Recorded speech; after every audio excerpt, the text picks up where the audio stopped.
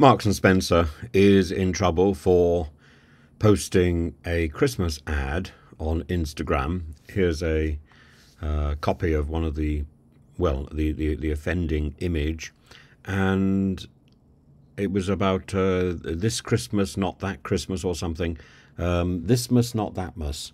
Love Thismas, not Thatmas was the tagline, but it doesn't really matter because the issue was the paper party hats which were the colours of the Palestinian flag, and they'd been thrown into the fire effectively.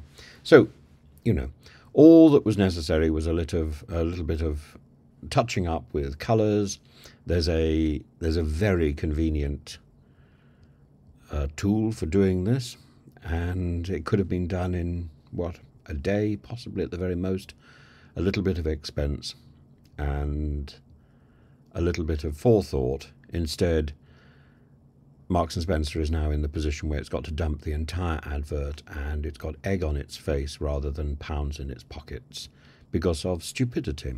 The ad was shot in August, so this couldn't this could never have been intentional.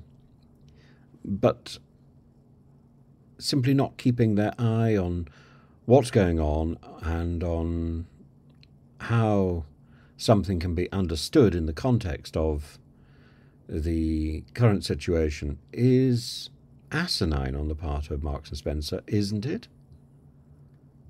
It's just um, stupid and very clever to get ahead of the curve and film your Christmas adverts well in the um, well in the middle of the summer. But this is the this is the price you pay for not keeping your finger on the ball. So many mixed metaphors there, but hey, it's Christmas.